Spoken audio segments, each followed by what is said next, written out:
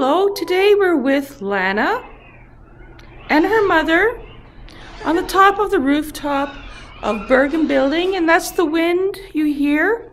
They've just uh, taken apart a 1930s couch, and uh, um, Lana, who's very productive, it took off a velvet uh, cushion couch and is going to and has uh, plans to reupholster this in yellow velvet. And this is her mother who's been helping her all day. They got permission from Brenda in case as some properties are worried. They're in a clear space with fresh air.